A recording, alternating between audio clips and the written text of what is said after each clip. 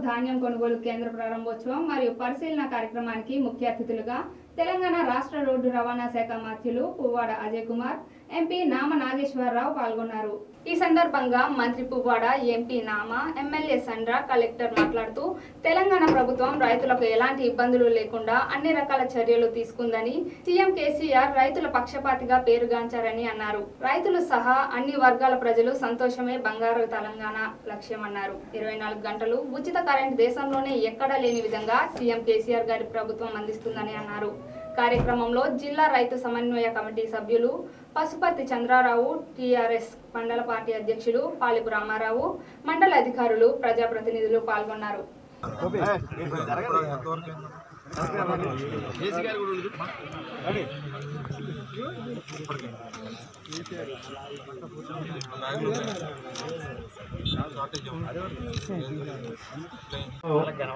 సత్తుపల్లి నియోజకవర్గంలో ముప్పై ధాన్యం కొనుగోలు కేంద్రాలు ఉన్నాయి. ఈ సంవత్సరం అరవై మూడు ధాన్యం కొనుగోలు కేంద్రాలకి తీసుకురావడం అనేది జరిగింది. అందులో సుమారు పది పైన ఐకేపీ సెంటర్స్ ఉన్నాయి. ఇది ఐకేపీ కొనుగోలు కేంద్రం.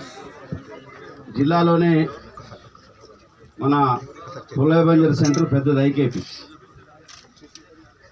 ప్రధానంగా పోయిన సంవత్సరం లారీల సమస్య బస్తాల సమస్య కాటాల సమస్య ఉంది. వాటన్నింటినీ కూడా ఈ సంవత్సరం అధిగమించి లారీల సమస్య కానీ బస్తాల సమస్య కానీ కాటాల సమస్య లేకుండా ఈరోజు రైతులకు ఇబ్బంది లేకుండా ఈ ధాన్యం కొనుగోలు కేంద్రాల్లో ఏర్పాటు చేయడం జరిగింది. మళ్ళీ సొసైటీ అధ్యక్షులు సీఈఓలతో కూడా ఒక మీటింగ్ పెట్టి ఈ యొక్క బస్తాలు కూడా బయటకు ఇవ్వద్దని చెప్పి వారికి కూడా విజ్ఞప్తి చేయడం జరిగింది. వాటిని అనుసరించే సత్తుపల్లి నియోజకవర్గంలో నాకు తెలిసి ఇప్పటివరకు జిల్లాలో ముప్పై ఐదు వేల మెట్రిక్ టన్నులు కొంటే ఇరవై ఎనిమిది పై వేల పైన ఒక సత్తుపల్లిలోనే కొనుగోలు చేయడం జరిగింది.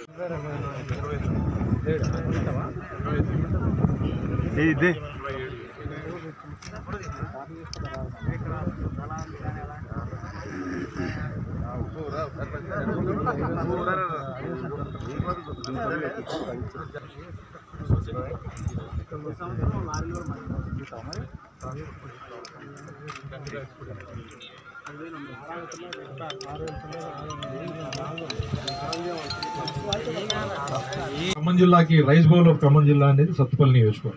మనందరికి తెలుసు అది.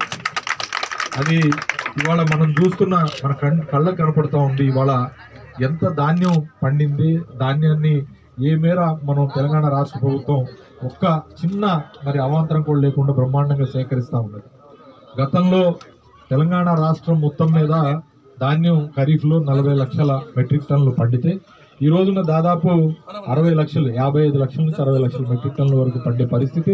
రాబోయే రోజుల్లో కాళేశ్వరం ప్రాజెక్టు కూడా పూర్తయిన తర్వాత డెబ్బై లక్షల మెట్రిక్ టన్నులు డెబ్బై ఐదు లక్షల మెట్రిక్ టన్నుల వరకు వెళ్ళే పరిస్థితి రేపు సీతారామ ప్రాజెక్టు మనకి కేసీఆర్ గారు కనుక మనం ఏదైతే మనకి బ్రహ్మాండమైన వరప్రదాయాన్ని మన సీతారామ ప్రాజెక్టుకి కొత్తగా ఇప్పుడు ఆనకట్ట నిర్మాణానికి కూడా మూడు వేల నాలుగు వందల కోట్ల రూపాయలు శాంక్షన్ చేస్తూ ముప్పై నుండి నలభై టీఎంసీల గోదావరి నీళ్ళు నిలబెట్టుకొని శాశ్వతంగా మనకి ఈ ప్రాంతంలో కృష్ణా డెల్టా నుండి కృష్ణా మరి ఏదైతే సారీ కృష్ణా ఆయకట్టు ఏదైతే సాగర సాగర్ ఆయకట్టు ఉందో కృష్ణా నీటితోని తడపాల్సిన వాటిని మనం మూడు నాలుగు సంవత్సరాలకు ఒకసారి మనకి మంచి సీజన్ వస్తూ ఉంది. మిగతా టైంలో సరైన సమయానికి నీళ్ళు రా రాలేని పరిస్థితులు రైతాంగం ఇబ్బంది పడతా ఉంది. మొట్టమొదటిసారి మన ఖమ్మం జిల్లాలో మరి ఏదైతే సాగర్ ఆయకట్టుని స్థిరీకరించాలనే ఉద్దేశంతో గోదావరి నీళ్ళని ముందు మీకు మళ్ళించేది ఎవరికా అంటే ఫస్ట్ మీ సాగర్ ఆయకట్టు కింద సాగయ్యే మరి ఈ ప్రాంతాలకి అందులో ప్రత్యేకించి సత్తుపల్లి నియోజకవర్గంలో ఉన్న రైతాంగం మొత్తానికి అన్ని మండలాలకు కూడా దీని ప్రతిఫలం అందబోతా ఉందని చెప్పి నేను సంతోషంగా తెలియజేస్తా ఉన్నాను తద్వారా మనకి ఎప్పుడైతే ఈ సంవత్సరం ఏ రకంగానైతే ఎటువంటి ఇబ్బంది లేకుండా వారాబందీ సమస్యలు లేకుండా మీకు కావలసినంతగా సమృద్ధిగా నీళ్ళు ఇవ్వగలిగాము అట్లనే రబీకి ముందుగానే ప్రణాళికాబద్ధంగా మరి నీళ్ళు విడుదలకు సంబంధించిన షెడ్యూల్ కూడా విడుదల చేశాం. ఎక్కడా కన్ఫ్యూజన్ లేదు. మీరు రబీకి సంబంధించి కూడా ఆరు తండ్రి పంటలు వేసుకోమని చెప్పి మేము చెప్తలేము.